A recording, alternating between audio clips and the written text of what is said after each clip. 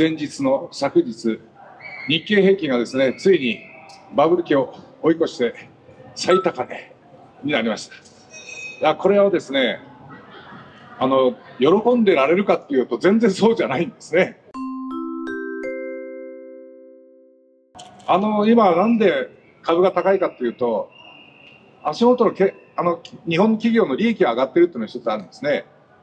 ではなんで利益が上がってるかっていうと、円安で、円換算で利益が膨らんでるということが結構あるんです。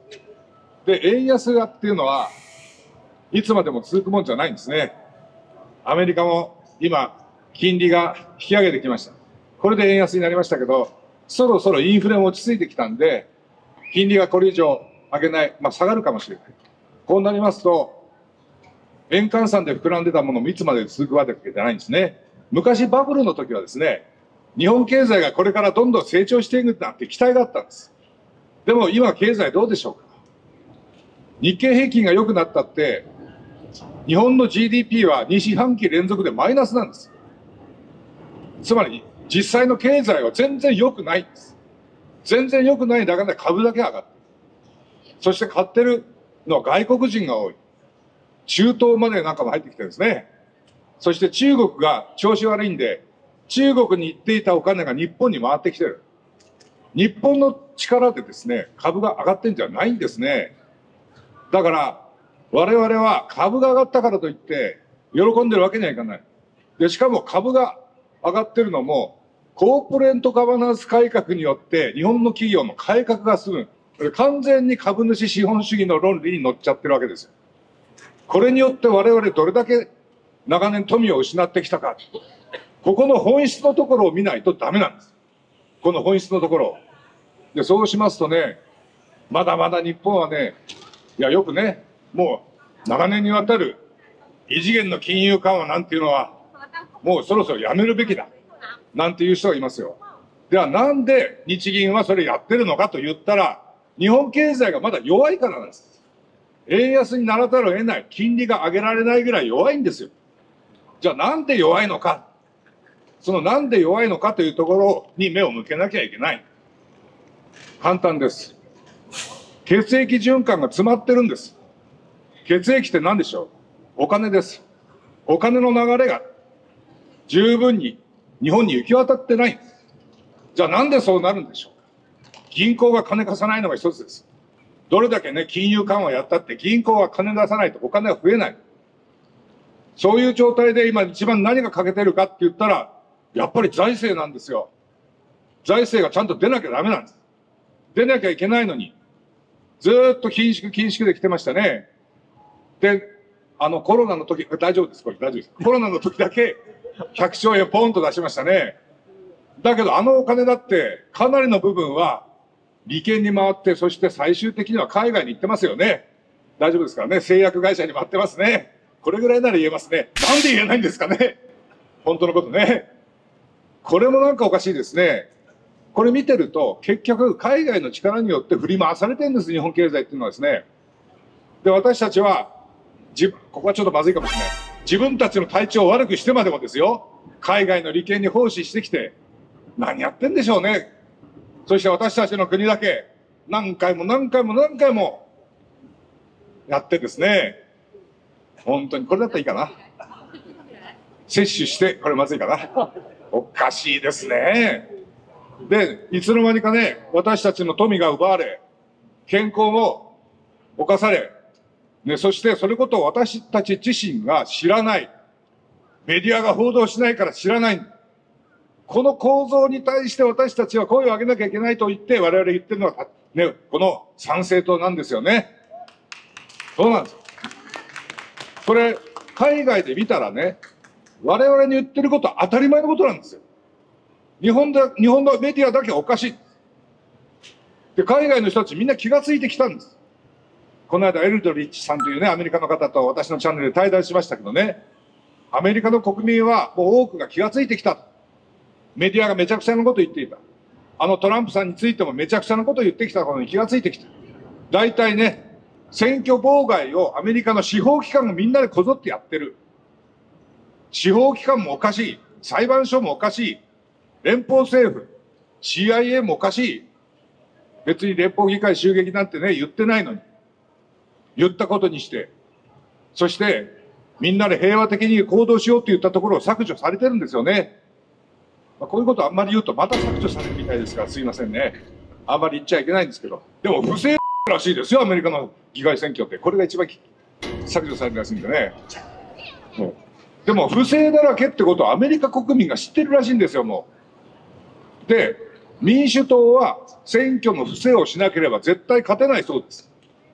だけど今度はですね、またいろんなことやるみたいですよ。住民票がないんです、アメリカってね。すごいですね。投票するためには自分で申請するらしいんですよ。だから、あれなんです。正確に有権者がこれだけいて、そして投票してるって仕組みじゃないんです。日本は立派ですよ。戸籍があり、住民票があり。なんか最近はね、この戸籍制度とか崩すということがね、いいんだっていう人いるけれども、民主主義の基盤なんですよ。戸籍とか住民票っていうのはね。で、これが日本はしっかりしてるんで、エルドリーさん最後に言ってましたよ。アメリカは日本に学ばなければいけない。何を学ぶか。民主主義を学ばなければいけないって言ってたんですよ。すごい国じゃないですか、日本って。長い長い歴史を営んで、私たちのね、ご先祖様がね、こういうね、日本という国を守るために素晴らしい仕組みをたくさん残してきたんですよ。戸籍だってそうですよ。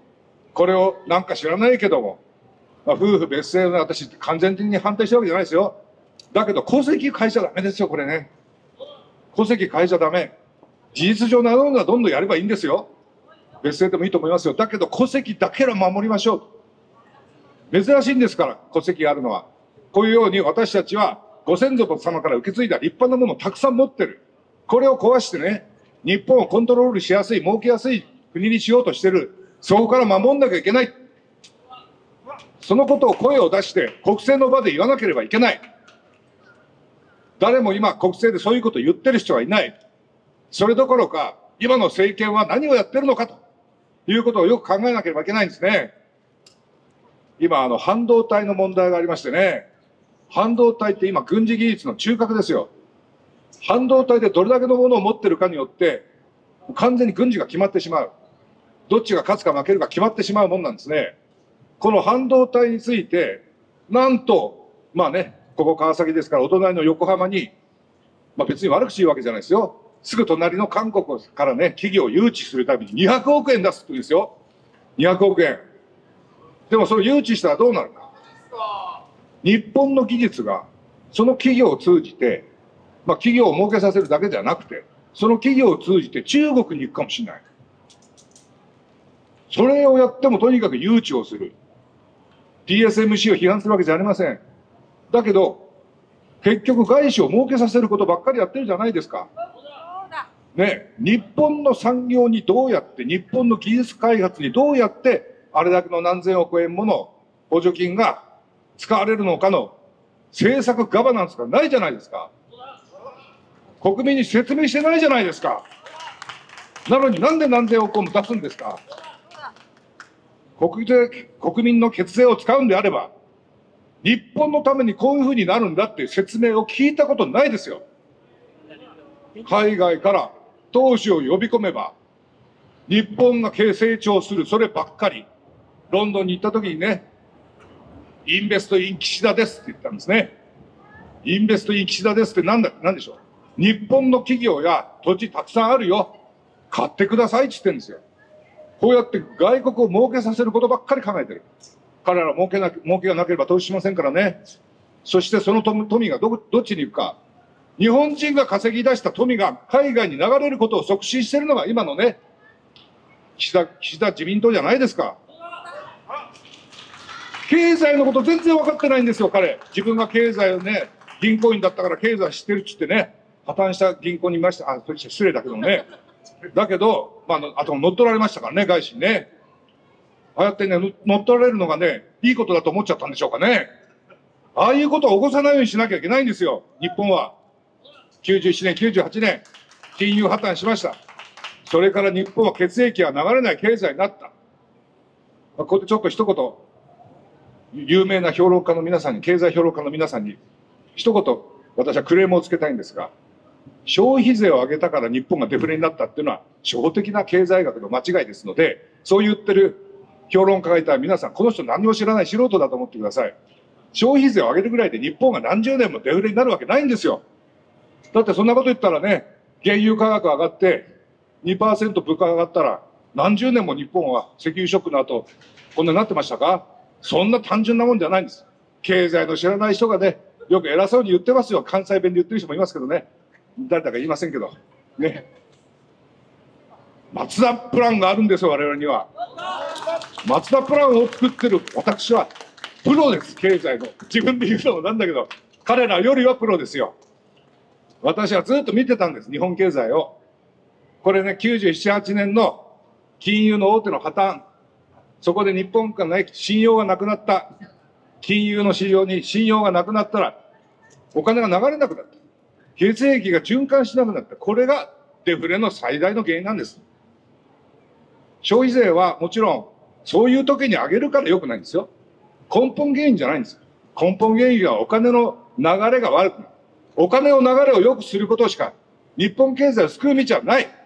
その時に財政が出なきゃいけない。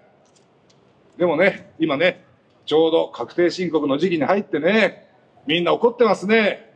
いやー、怒るかなと思ったらやっぱり怒ってました。このテレビでもね、国税出身者の人が出てきて、あれは税務署がやるべきだ。国税庁が担当すべきだと。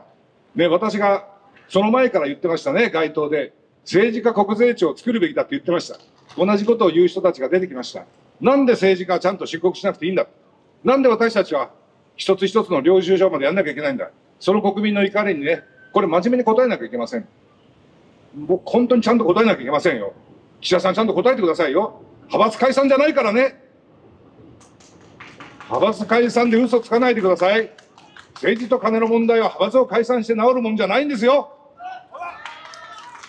ね、400人近くいるんでしょ、自民党の国会議員は。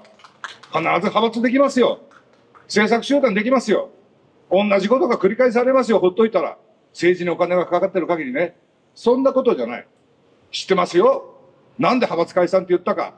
ね。みんな派閥どんどん解散していきましたね。まず最初に安倍派。あの、今回その株価が最高になったけれども、賃金が、えー、下がってくる面っていうなんかねじれのような状況になってるんだけども、これはトータルで見ると株価は上がった方がプラスになったのかマイナスになったのか日本の国益というか国民目線でってどういう感じでしょうか？もちろんね株価は上がらないよりは上がった方がいいですよ、はい、それはいいと思います、まあ、ずっと持続的に株価が上がればね、えー、お金も株株を持ってる人はお金を使って日本経済良くなるということもありますからね。だけど実際の経済見たらマイナス成長ですからね、はいはいはい、でこれやっぱりあのまあ今と今までのところはでまあ、所得の増え方に比べて物価の上がり方が大きかったんで、まあ、実質的な所得が減ったっていうことが大きいと思いますけどね。だけどこれやっぱり一般の国民から見たら株を持ってない人から見たら株が高いっていうのは違和感があると思いますよ。そうですよね、えー、苦しい生活はどんどん苦しくなってるのにと。でここで明らかに実際の経済と株が乖離してると。そうですで株を上げてる大きな力は外国の力だという構造がありますよね。はい、結局株主が海外の人が多かったら逆にもうやっぱり流れるだけみたいな感じになるでしょ。まあ結果としてそうなりますし、うん、あ株が上がったよかった。これね企業のね株主資本主義がいいんだって言って、うん、でまたあの配当を増やす方にばっかり行ってしまいますとね、うん、国内での大事な投資であるとか賃金上がる方にねいかないっていうのはまずいと。ただ今、賃上げの雰囲気は広がってるんですが、はい、だけど賃上げの、ね、で恩恵を受ける人って国民全部じゃないんでですね、個人事業主だとか、零細企業の方とか、ああいう方々は関係ないですからね。えー、だから、あの、本当に日本が、ね、大企業が賃上げの方に回すのか、株で儲かった収益を賃上げに回すのかどうかと、本当にですね、そこのところがこれからの課題だと思うんですよね。だけど、私はそれだけではなかなか、あの、まあ、今日も演説で言ったように、まあ、血管が詰まってる状況ですから、お金の流れが詰まっちゃってるんで、はい、そこのところをもっと血流を送り込むことをしはい、しなきゃいけない状態なんで、そこはやっぱり財政がちゃんとやらないといけないなというふうに思いますね。わかりました。もう株価が上がったら内部留保するだけじゃなくて流してあげるってことも大事ですし、あの、もっと大きい日本レベルで、あの、詰まったところを流してあげるっていうことが大事だっていうことで。そうですね。あの、もちろん企業もそうだし、でやっぱりね企業だけじゃなくて国全体でいい日本にとって本当に必要なところにお金を流さなきゃいけない、あの今日は時間がなくてそこまで言いませんでしたけど子育子育てで予算を倍増して、それを国民負担をでやるよりはこれ国債でやればいいと思います。っていうのは次の世代の人材に対する投資ですからね、はい。投資のお金は借金でやっていいんですから、はい。だってそうやるだけで国債をはとにかく国債を増発して財政支出を増やしてそれでマネーが増えるんですね、はい銀行がマネーを増やすか政府が国債発行して財政を拡大するかしかお金が増える道はないもんです、だからこうやっていや一種の血液循環悪い状態にポンプのような役割はまだねやんなきゃいけないですね、国の財産ですねわかりました。もう今日もあのたくさんお時間いただいてありがとうございました。はい また次も、はい、頑張ってください。ありがとうございました。失礼します。ありがとうございました。失礼します。